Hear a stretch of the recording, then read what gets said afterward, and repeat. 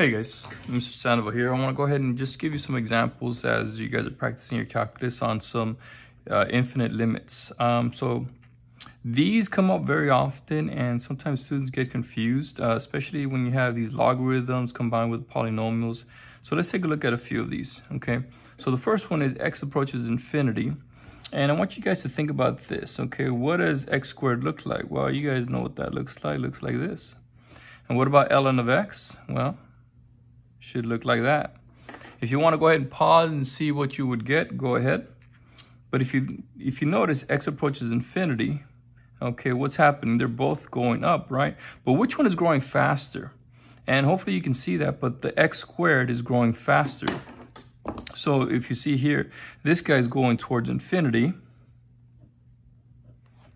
And also this guy is also going towards infinity, but it's growing a lot, a lot slower. So a very, very big number divided by a much smaller number, you're going to end up with just positive infinity. So when you're doing these, it's very good, very important to understand what it looks like. So that one wasn't too hard, but let's see if we can do a, a one that's a little bit more complex here. Um, let's look at number two now. They switched it up on us, and it's the limit as x approaches zero from the right side. Okay, be careful with the notation, okay? X approaches zero from the right side. And we're gonna go ahead and use this guy here. So what's happening?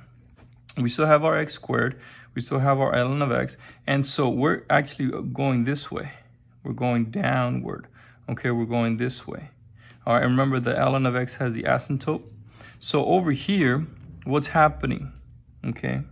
What's happening, the ln of x is approaching what? Negative infinity. That's right. Okay, what is x squared approaching? Well, x squared is approaching zero. It's getting very, very small. Now remember, it doesn't get to zero. Okay, it's just getting very, very, very small. So what happens when you have a negative number divided by something very, very, very, very small? Well, you're going to end up with negative infinity. Okay, remember, this is a limit. It never gets to zero. It only approaches it. All right. And then let's do another one, last one. This is the one, the e to the x. This one comes up a lot, and a lot. I see a lot of them. Uh, they throw you this negative x because it's a bit of a curveball. So let's go ahead and take a look at that. Let's see what that looks like. Well, you guys know what x looks like, but what about e to the negative x? So we know that e to the x looks like this right? Well, e to the negative x, right, we're doing this part right here. And that's important to understand. Okay, so remember, we're approaching x, and we're approaching negative infinity. So here, right, for the bottom part, what are we doing?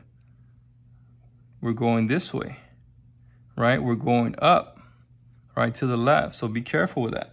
So that means this guy is getting very, very large, is getting very, very big. Now what's happening with X?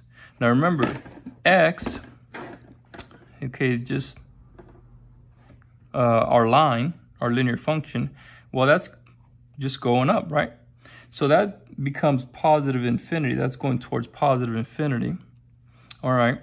But which one is growing faster? Think about it. Which one is growing faster? The exponential here or the linear? This guy, that's right, the, the exponential is growing faster. So this guy is growing a lot faster than the linear. So because this guy is getting a lot bigger, so what happens when we divide by a very, very, very, very large number? We get zero. That's right, it approaches zero. Okay, so hopefully that makes sense, guys. Um, something quick and easy. Just wanted to give you some examples that you're going to probably see on the AP exam. All right. See you guys next time.